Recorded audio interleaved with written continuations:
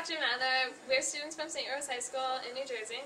We're in an advanced physics class and we would like to know Where do you, as an astrophysicist, believe quarks originated from, and what scientific findings have you led to this conclusion? Thank you for your time, and we hope you answer our question. So students from the Rose School, uh, you want to know where did the quarks come from? Well, let me describe what a quark seems to be.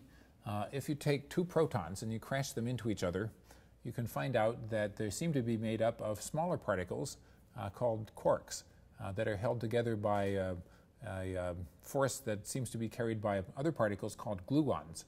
Now, these particles uh, can be made in the, in the collisions, although we can never get a, a, a quark separated from other quarks very far.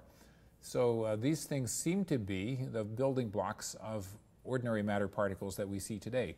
So theoretically, if we imagine what conditions might have been like in the early universe, where the temperatures were extremely high and the densities were extraordinary, we could imagine that the early universe was composed of a kind of soup just made out of quarks and gluons and any other particles that might exist, uh, electrons and other uh, particles in that family. So this might be what the early universe is like. Uh, if so, then the, uh, it was the extreme temperatures and densities that made it possible for quarks to exist, along with antiquarks and all of the other amazing families of particles that might be predicted. Then uh, the uh, universe expanded and cooled off, and the quarks uh, came to uh, group together into ordinary particles like protons and neutrons, and eventually we now have to make an accelerator to pry them apart again.